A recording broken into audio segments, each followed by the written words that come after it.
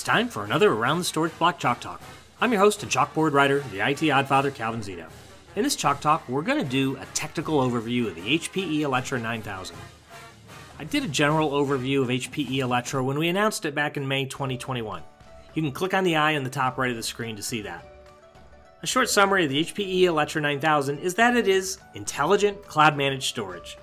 It's predictive and gets smarter every second. Simple to install, set up, and operate. Timeless experience that keeps getting better, and it's resilient, non disruptive, easy upgrades and updates. The HPE Alletra 9000 is flexible to easily adapt to any environment, powerful to handle anything, and resilient for end to end data protection. In this Chalk Talk, we'll explore that more. The 9000 combines the best technologies of HPE, the scalability and enterprise capabilities of HPE Primera and 3PAR, the AI driven automation and self healing capabilities of HPE InfoSight, and the secure cloud managed inherited from Aruba Central. Let's look at what makes HPE Alletra 9000 mission critical. Massive parallelization with all active and multi node. 100% availability guarantee with every system. Best performance and density, certified for up to 96 SAP HANA nodes and the most advanced disaster recovery and high availability with active stretch clustering. It's ideal for large scale databases and containers with large scale consolidation of databases, hypervisors, and containers. Here's the first of a couple overwhelming graphics I'll show you. This one looks at the features of the 9000 series arrays. Pause the video and read through the list. Impressive, yes?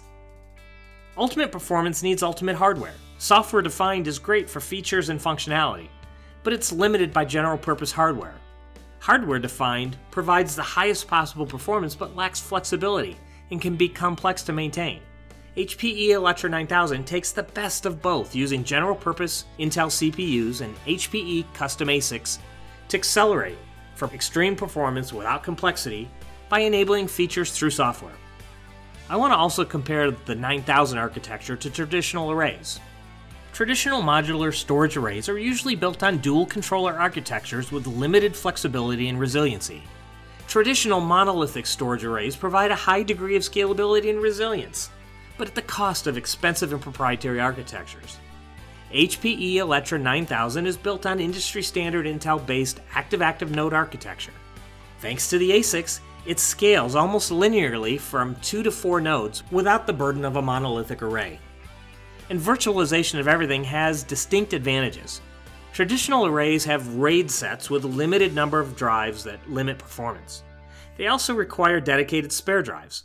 With the 9000, all drives are virtualized and concurrently used. Built-in wide striping makes things far easier and improves performance. And the virtualized pool has all the services from all the drives like sparing, RAID sets, snapshot space, dedupe compression, and more. It's all very seamless and easy.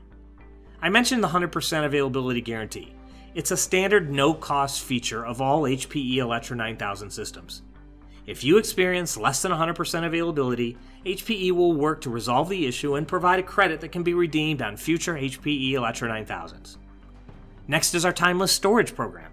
This is an optional upfront service providing tech refreshes after 3 or 5 years at no additional cost. It keeps your 9000 current, reduces storage TCO, no data migration, and no downtime, and again, you can do it on a three or five year cycle. A question that I hear is how do I manage HPE Alletra 9000? There are several options. Data Services Cloud Console is our cloud based management tool. There's also the on node UI and OneView integration. There are CLIs for different OSs and PowerShell as well as API based RESTful API and SMIS. We have our analytics that you can view via the HPE InfoSight portal and there are multiple management integrations like with VMware, Microsoft, Docker, Kubernetes, and more. Here's another flyby graphic that features Data Services Cloud Console that I mentioned at the beginning, and the AI driven global intelligence of HPE InfoSight. I have chalk talks on these, and if you click on the eye at the top right of the screen, there's a playlist that has more on all of these. One of the legendary features that customers of 3PAR and HPE Primera know well is persistency features. Here they are briefly. Persistent cache. With four controllers, your write cache data is always mirrored between two controllers. Persistent ports enables the host paths to remain online with no I.O. disruptions and failure situations and during online firmware upgrades. Persistent checksums delivers T10 protection information for end to end data protection from the OS layer to the HPE Alletra 9000 drives with no impact to applications or host operating systems. I want to touch on flash optimization features. The HPE Alletra OS virtualization and hardware abstraction optimizes the use of flash to minimize duplicate writes with features like deduplication, compression, zero detect, and thin clones. It minimizes reservations with the allocation size, with reservationless, always thin snaps, and system wide sparing. It maximizes net capacity through the data reduction and other technologies I mentioned, and maximizes the SSD life with adaptive sparing, adaptive writes, and data packing. A picture is worth a thousand words when it comes to the life of Flash. Two numbers tell the story 97.3% and over 90%. What do these mean? We have years of telemetry data and hundreds of thousands of SSDs, and between September 2012 and May 2021, 97.3% of all 3PAR and HPE Primera systems have reported SSD life left of over 90%. Two more things. Let's look at simplified disaster recovery and high availability.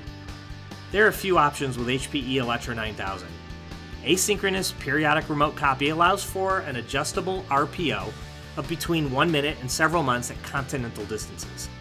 Synchronous and active synchronous remote copy can be deployed at metropolitan distances with an RPO of zero.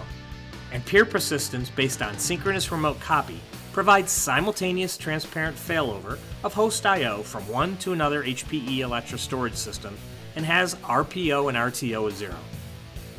And to wrap up, this is one of those places where you should pause the video. Here's the all-inclusive list of HPE Alletra 9000 software what's in the OS, and the other software that's included. It's a long list. I'll also have an HPE Alletra 6000 deep dive soon, so watch for it. To learn more, go to hpe.com slash storage slash Alletra. There is always a ton of information on our blog that you can find at hpe.com slash storage slash blog. And you can find me on Twitter as Calvin Zito. Thanks for joining me on this Around the Storage Block Chalk Talk.